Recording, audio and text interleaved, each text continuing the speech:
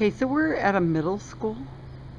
Um, this- this is where David's apartment is, and this is the view that the kids have out of their their windows at the. It's a private school. It is a private. Um, the, uh, the the term more commonly used here in Hong Kong is an international school. This is where the west, uh, not the Westerners. What would you call them? The would you call people who Expats. expats, Yeah. expatriates Yeah. come to this side of town, this side of Hong Kong, and they send their kids to a private.